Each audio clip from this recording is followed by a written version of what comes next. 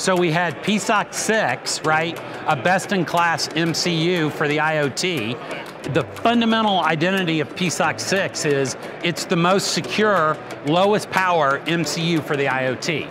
And you got to realize that IoT is going to make the cell phone revolution look like nothing, right?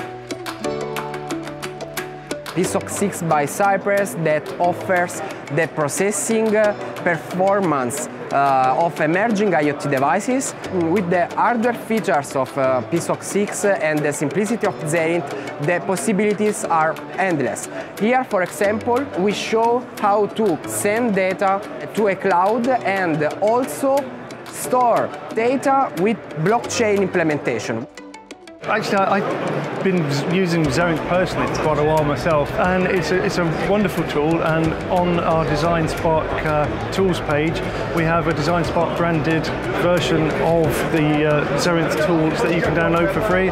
Um, it's something that we thought was really important to bring to our very large audience on Design Spark um, because it, it is such a, a useful tool to do rapid prototyping with.